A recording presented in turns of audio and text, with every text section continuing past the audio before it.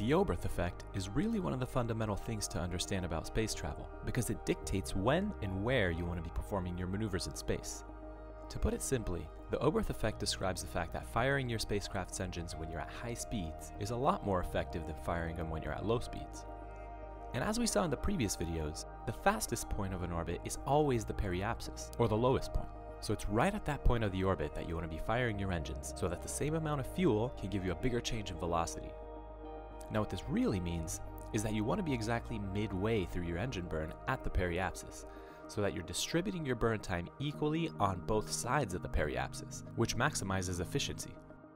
In some cases, the spacecraft have very low thrust engines, and they'll prefer to make a series of shorter burns over multiple orbits, converting that same amount of fuel into extra kinetic energy.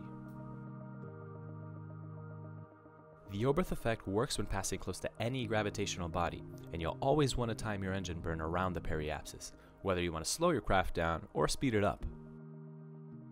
You can always use the effects of a gravity assist or a slingshot maneuver, which I'll talk about in the next video, in combination with the Oberth effect, to travel even further with less fuel.